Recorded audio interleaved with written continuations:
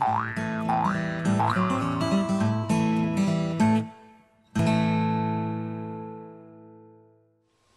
everyone! Welcome back to integralcalc.com.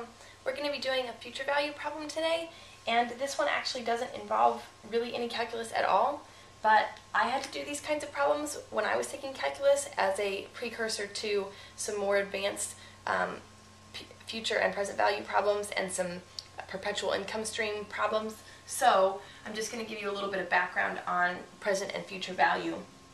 Um, this question says find the future value of $4,000 after 10 years at an annual percentage rate of 8% compounded continuously. So the first thing that you should notice is compounded continuously.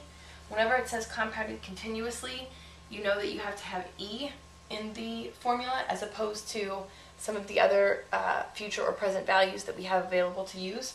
So compounded continuously means we're using the formula with the E in it, and it's asking us to find the future value of $4,000. So that means that we are solving for future value, so that's what we have on the left here by itself. And the present value is $4,000. That's the amount that we have now. So we just go ahead and start plugging values into our formula. We're looking for future value.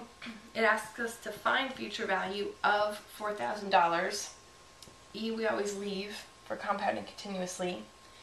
It asks us to find the future value of $4,000 after 10 years at an annual rate of 8%.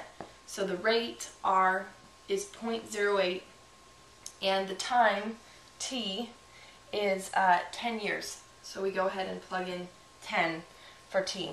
And it's, uh, it's as simple as that. All we need to do is now go ahead and use a calculator to solve.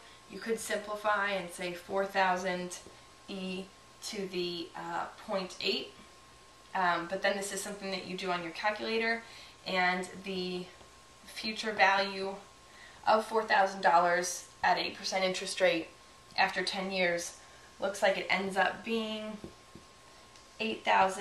$8,902.16. That's rounded off. So that's how you use the future value formula. I'll see you guys next time. Bye!